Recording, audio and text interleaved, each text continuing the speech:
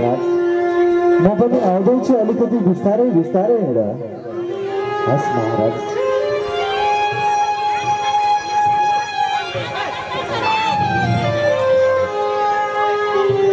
द्वारपाल? हजुर महाराज। आज म निकै थकित छु।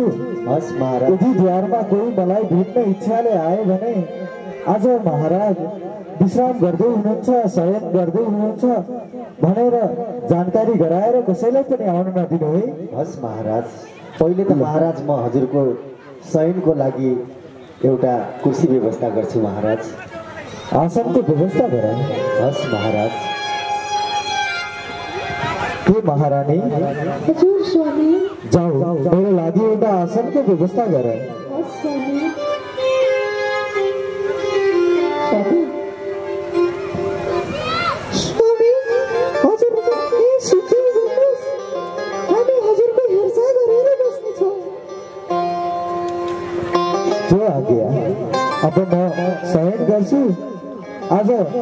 दरबारमा कसैलाई पनि प्रवेश नदिनु है महारानी हो हुन्छ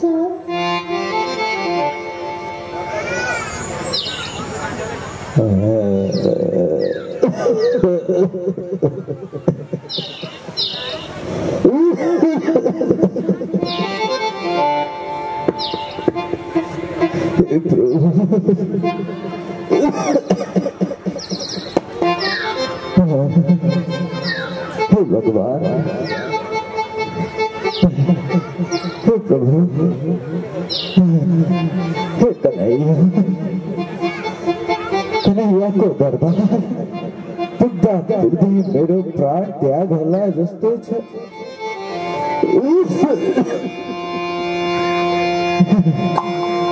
भगवान मेरो परम मित्र मेरो कन्हैयाको दरबार अझै कति टाढा हो अझै कति दिन रातको यात्रा गर्नुपर्ने छ मलाई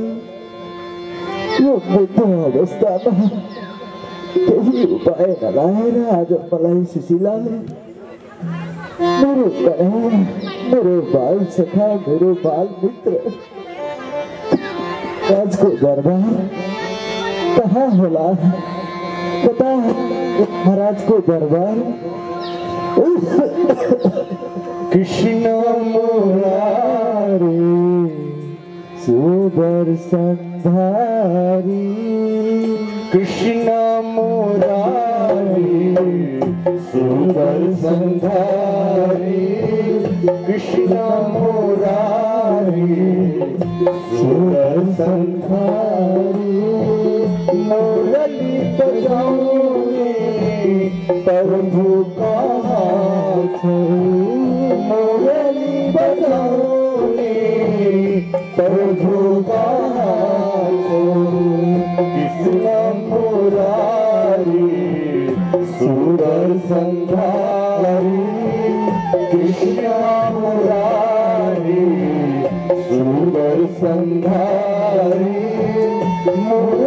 Thank.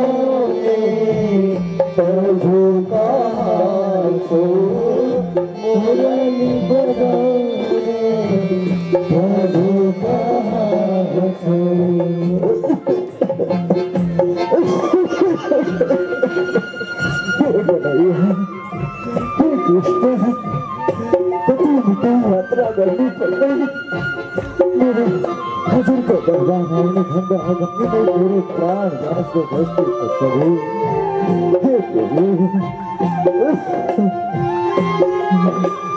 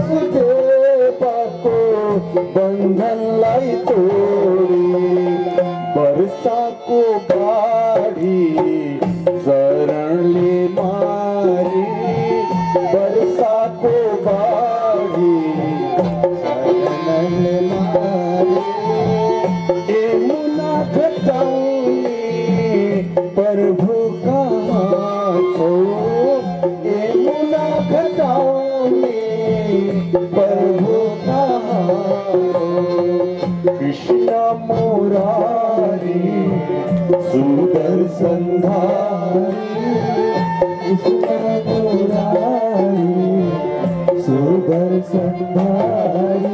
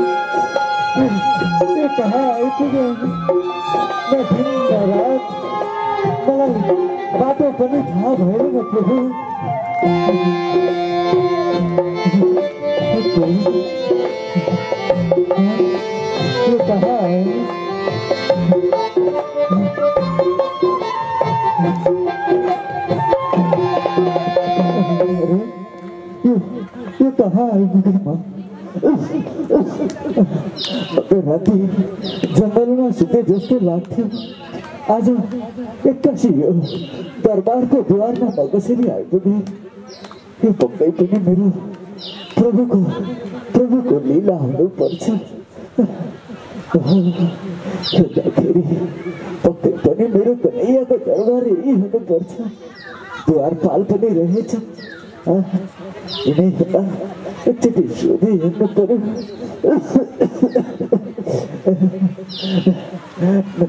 नारायण। हे द्वारपाल नारायण द्वारपाल हजुर अरे म म कन्हैयाको कन्हैयाको राज दरबार खोज्दै हिँडेको कन्हैयाको कन्हैयाको दरबार यही हो कि यही हो यही हो बाबा यही हो मेरो मेरो कृष्णको दरबार अरे अनि अनि द्वारपाल हजुर बाबा मलाई मेरो बाल सखा कृष्णको भेटको निमित्त भनेर निकै टाढा सुदामापुरी भन्ने ठाउँबाट म सुदामा भन्ने ब्राह्मण म मेरो मित्रलाई भेट्न आएको मलाई कृपा गरेर उहाँसँग दर्शन गराइदिनु होला हे द्वारपाल बिन्ती छ हे बाबा आज त भगवान् स्वयंमा हुनुहुन्छ आज भेट्न मिल्दैन नि महाराजलाई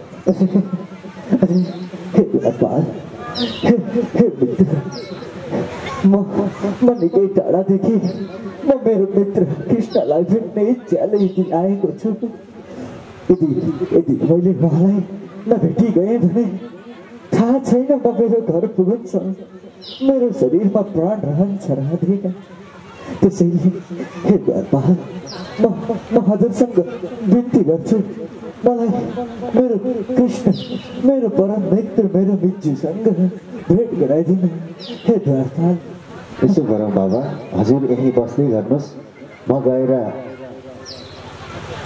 भगवान् श्रीकृष्णलाई सोधेर आउँछु हुन्छ धन्य धन्य द्वारपाल धन्य गएर मेरो मित्रलाई सोधेर आइदिनुहोस् कृपया जानुहोस् हुन्छ बाबा महाराज प्रणाम बाहिर एकजना वृद्ध बाबा आउनुभएको छ भन्दै हुनुहुन्छ यहाँ श्रीकृष्णसँग भेट्न आएको भन्नुहुन्छ बाबा महाराज के गरौँ उहाँलाई भेट्न दिउँ कि नदिउँ महाराज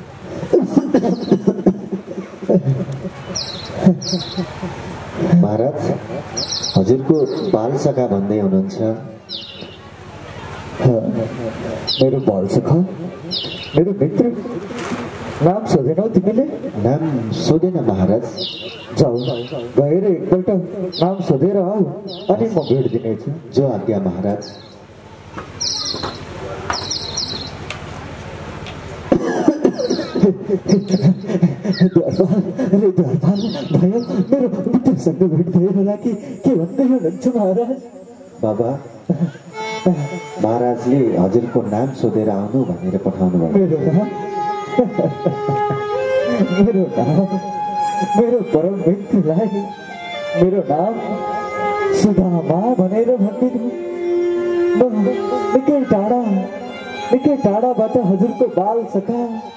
बाल मित्र सुधामा आएको भनेर भनिदिनु उहाँले मलाई अवश्य चिन्नुहुनेछ हस् बाबा गएर मेरो नाम बताइदिनु द्वारपाल। महाराज प्रणाम। महाराज भन्दै हुनुहुन्छ बाबा धेरै टाढादेखि आएको अरे। उहाँले भन्दै हुनुहुन्छ म उहाँको बाल सखा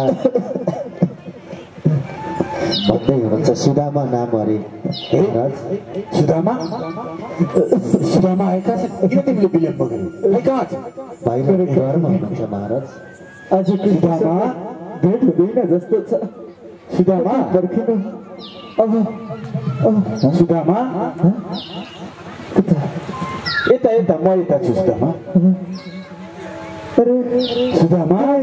अरे, सुदामा? सुदामा? मेरो मित्र कृष्ण मेरो मित्र कृष्ण।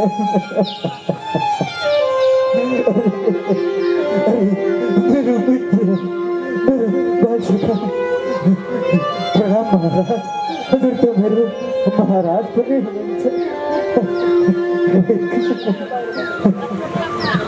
ए भन्छ त सुदामा कहाँ यता बाहिर बसेर हुन्छ जाउँ भित्रै गएर कुरा गर्नुपर्छ जाउँ सुदामा जाँदैन हजुरको द्वारपाल उतै रहनु भएछ जाउँ सुदामा जाउँ भित्रै गएर कुराकानी गरौँ आऊ सुदामा आऊ अरे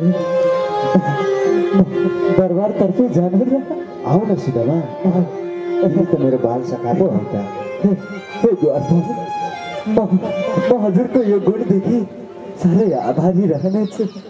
धन्य हो द्वारपाल धन्य हो। हुन्छ म जान्छु।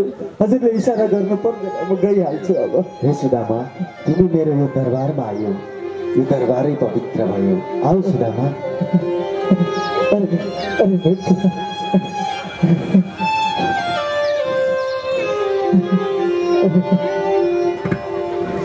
बिस्तारै सुदामा बिस्तारै। कन्हैयाको दरबार मेरो कृष्णको दरबार म धन्य भएँ प्रभु म धन्य भएँ आज सुदामा आऊ यहाँ बस्छ यो हजुरको हजुरको आसनमा हजुरको सिंहासनमा कसरी बस्नु म यही बस्छु होइन होइन सुदामा हुँदैन यही नै बस्नुपर्छ सुदामा आऊ माथि अरे, हजुरको आसनमा र प्रभु बस न सुदामा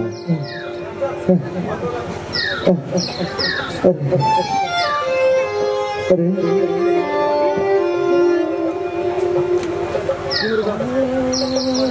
अरे मलाई हजुरको आसनमा राखेर हजुर हजुर उभिनु भयो अलि शोभा दिएन कि प्रभु होइन त हुन त म पनि हजुरको मिजु हो मिजुले यति चाहिँ हक चाहिँ लाग्छ नै है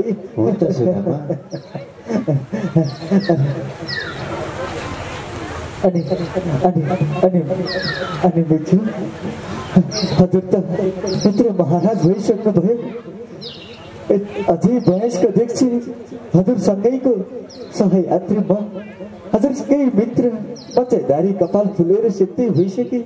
हजुर त जस्ताको त्यस्तै हुनुहुन्छ यो कस्तो लीला प्रभु? हो त सुदामा तिमी पनि साह्रै बुढो भएछौ।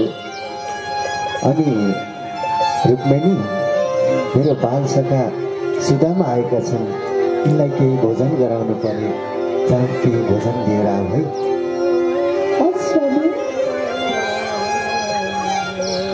स्वामी। वरणको सामग्री ल्याउनु भएछ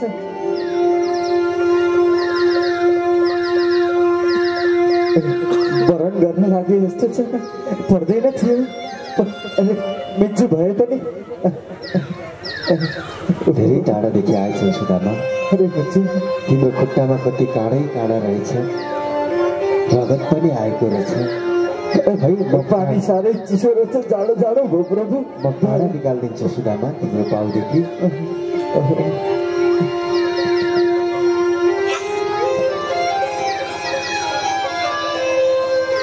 सुदामा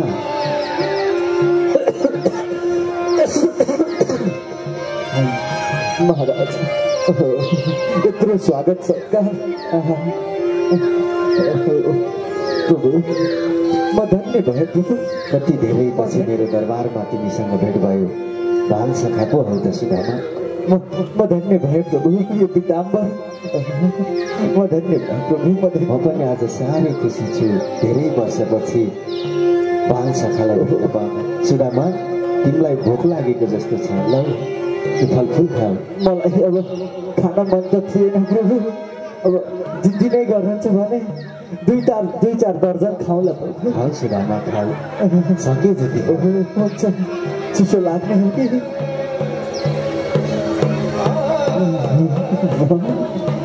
मेरो मित्रले म धन्य भएँ प्रभु। म धन्य भएँ। सुदामा साह्रै भगाएका रहेछौ। अरू पनि खान्छौ? होइन। भए प्रभु। अब चिसो लाग्ला। यति नै ठिक हुन्छ।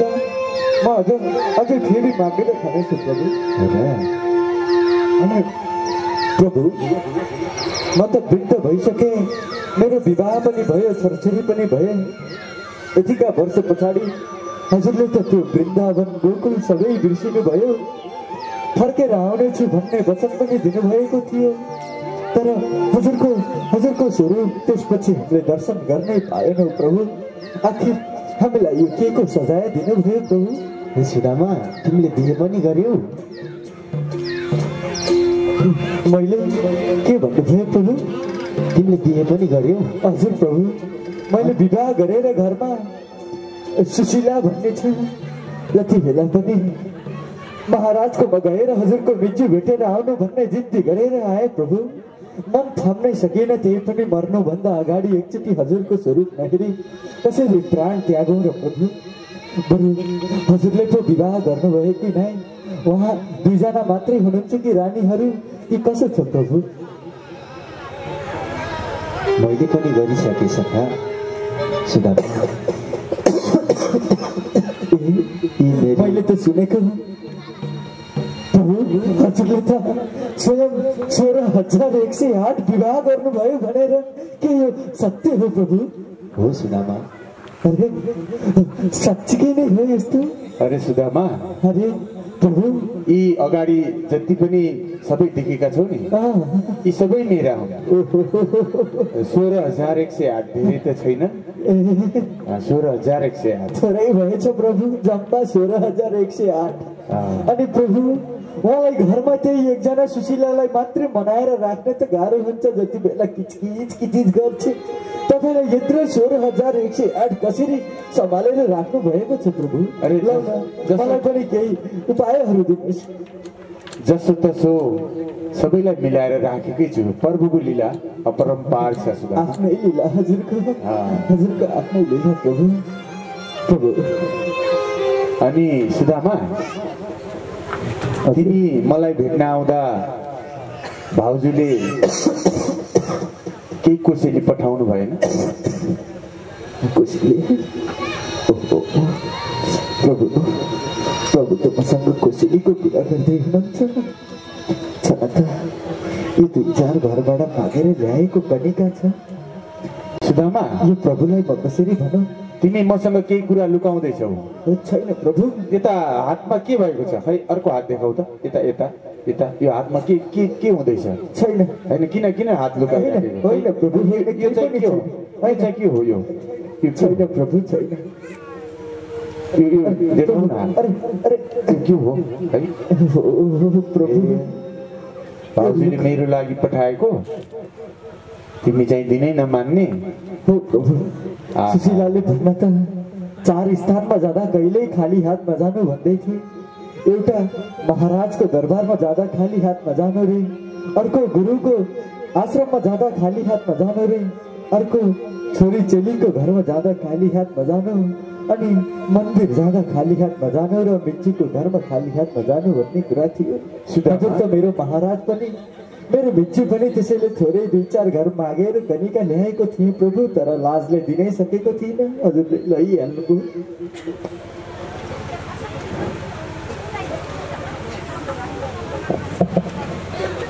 अनि यस प्रकारबाट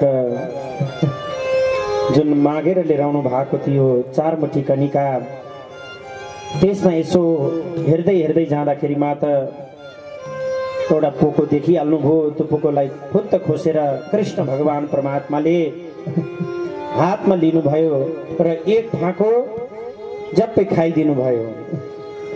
अनि अब त्यो चपाएर अर्को फाँको पनि खान भनेर लागेको बेलामा च्याप्पै रुक्मिणले गएर हात समाते।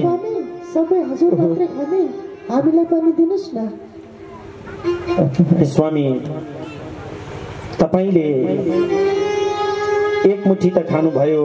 आधा द्वारकामा जति सम्पत्ति थियो त्यो सबै गइसक्यो। अब फेरि अर्को मुठी पनि खाएर के हामीलाई उहाँकै दासी बनाउन खोज्नु भएको हुँदैन स्वामी अब यतिभन्दा बढी खानु हुँदैन। अनि रुक्मिणीले राखिन्। त्यस पछाडि म यो दरबारमा आएको पनि निकै समय भइसक्यो। उता घरमा मलाई सुशीला मेरा बालबच्चाले कुरिरहेका होलान् म अब म अब प्रस्थान गर्छु हे प्रभु। सुदामा जान्छौ त तिमी? म अब जानुपर्छ होला प्रभु। गइहाल्छौ र? अब प्रभुले केही भिक्षा दिइहाल्नुहुन्छ कि? केही दिइहाल्नुहुन्छ कि भन्ने आशले आएको। प्रभुले दिने कुरै गर्नु।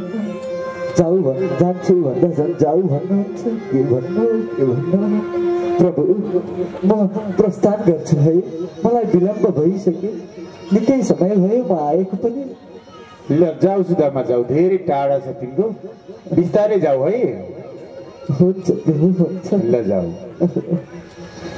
प्रभुले त केही दिने उनै गर्नु भएन झन्डै यो पिताम्बर एउटा चाहिँ लिएर जानु पर्यो त्यही पनि एकचोटि केही दिइ पो हाल्छन् कि प्रभु मलाई बोलाउनु भएको थियो र त्यस्तै त्यस्तै सुने नाइ बोलाएन तिमी गएनौ अझै जाऊ सुदामा ढिलो होला नि त तिमीलाई जाऊ जाऊ बोलाउनु भयो कि रहेन रहेछ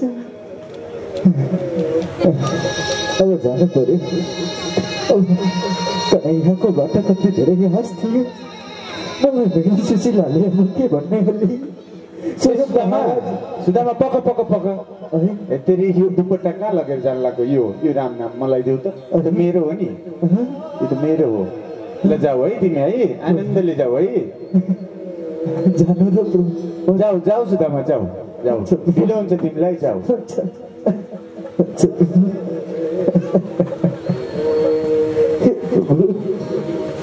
अब म कुन अनुहार लिएर कुन मुख लिएर मेरो घर फर्किनु मेरो बाल बच्चाले मेरो बाटो हेर्दै होला अब केही नभए पनि बाटोमा भिक्षाटन गर्दै जानु पर्ला जस्तो छ। यस प्रकारबाट अब सुदामा नाम गरेका ब्राह्मण केही दिनुहुन्छ कि केही पाउँछु कि भन्ने आशले आउनु भएको थियो। अब जान लाग्नुभयो। तैपनि यसो आवाज आउँछ पुलुक्क पछाडि फर्केर हेर्नुहुन्छ तैपनि मलाई केही दिनको लागि बोलाएको हो कि? अब म कुन अनुहारले जाने? मलाई श्रीमतीले तपाईँको मित्र त ज्यादै न धनाढ्य छन् केही न केही दिएर पठाउँछन् भनेर पठाए कि? अब म घर कुन मुखले जाने कुन अनुहार लिएर जाने? मैले बालबच्चालाई कसरी पालन पोषण गर्ने? त्यो चार मुठी कनिका पनि बल्ल बल्ल बल्ल बल्ल खोजेर लिएर आएको। अब के गर्ने होला? भन्दै अगाडि बढ्दै जानुभयो। तैपनि फेरि यस्तो आवाज आउँछ। फरक्क फर्केर हेर्नुहुन्छ। तैपनि अह कृष्ण भगवान्ले केही दिने त कुरै गर्नुहुन्न। अनि फेरि अगाडि बढ्दै जानुहुन्छ। त्यस पछाडि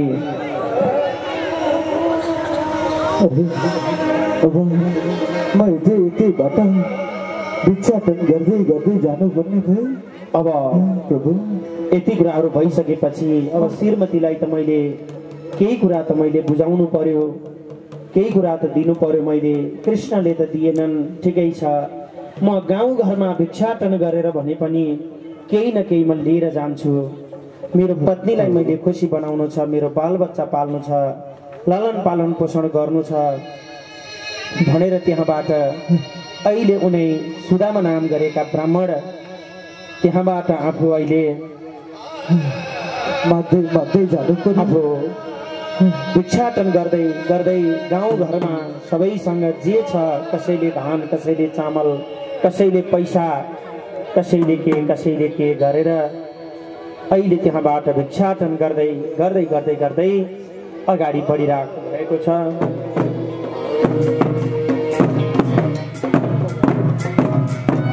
पन्ची बाजा एकछिन नबजाइदिनु होला झाँकीमा एकैछिन एकैछिनलाई पन्ची बाजा अनि झोली थाप्दै आउनुहुन्छ यहाँहरू आफ्नो ठाउँमा बस्नुहोला। नाम गरेका ब्राह्मण। गर्दै जानु पर्यो। एउटा गरिब ब्राह्मण थिए। जसको मृत जब मित्र साक्षात श्री कृष्ण भगवान हुँदा पनि आज उनी कृष्ण भगवान परमात्माले प्रत्यक्ष रूपमा नदिएर उहाँ हिँड्दै हिँड्दै अब घरमा कसरी मुख देखाउने मैले त्यत्रो कृष्णको सखा भनेको छ। फर्कँदाखेरिमा त मलाई एक पैसा पनि एक रुपियाँ पनि मलाई केही पनि दिएनन्। अब मैले के गर्ने भनेर आफ्ना जान बच्चा परिवार पाल्नका लागिमा भिक्षाटन गर्दै जानुभयो। आफूले सकेको आफूले दान गर्न सक्ने आफ्नो योग्यता अनुसार सबैले दान गर्दै गर्दै भिक्षाटनमा हिँड्नुभएका उनी सुदामा नाम गरेका ब्राह्मणलाई सबैजनाले गाउँघरबाट दिए बिचरा बुढो मान्छे पुरै दारी फुलेको अनि आफ्नो बालबच्चा पालन पोषण गर्नुपर्ने लालन पालन गर्नुपर्ने ज्यादै नै पीडा थियो उहाँलाई। उहाँलाई पालन पोषण गरिदिने अरू कोही पनि थिएन। आफैले कमाउनु पर्ने परिवार पाल्नु पर्ने ज्यादै नै चिन्ता थियो। गर्दा गर्दैमा तै पनि मैले समय बिताउन सक्छु कि यसरी नै पालन पोषण गर्न सक्छु कि भनेर बसिरहेको भएको थियो। आखिरमा आफ्नो जीवन निर्वाह नभइसकेपछि पत्नी सुशीलाले जानुहोस् कृष्ण भगवानको पासमा जानुहोस् केही न केही दिनुहुन्छ भनेर पठाउनु भएको। आज कृष्णले पनि मलाई केही पनि दिनु भएन। अब म कसरी जाने होला?